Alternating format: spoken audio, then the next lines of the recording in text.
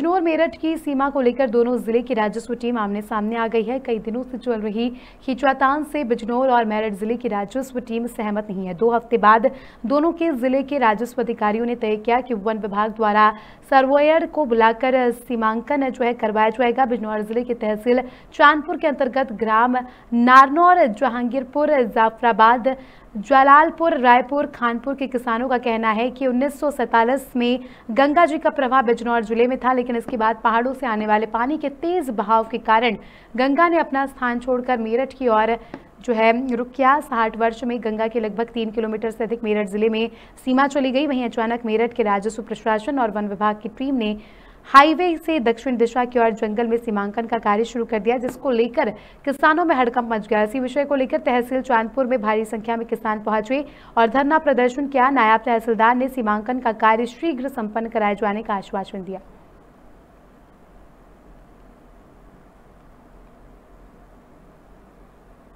हमारी ये समस्या है, हमारा सन छप्पन और चौवन में साहब, हमारा पचपन में गाँव ढह गए थे, चार, तीन तीन, चार गाँव ढह गए थे। जैसे आके हमारी नान और यहाँ गवर्नमेंट ने अलाटमेंट कर दिया था वहाँ का बस गए थे। बस आ गया था हमें कानपुर की राज्य में। तो साहब उसे कहते कि जैसे कि बड़े बुढ़े गंगा की ज़मीन छोड़ती गई ऐसी वो खोदते जोतते चले आए।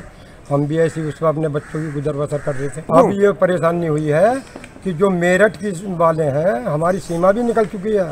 मेरठ वाले जब रहे कर रहे हैं अर्जी उस सीमा को हमारे अधिकारियों की नाप तोल को नहीं मान दे और हमारी खेती पलट रहे हैं।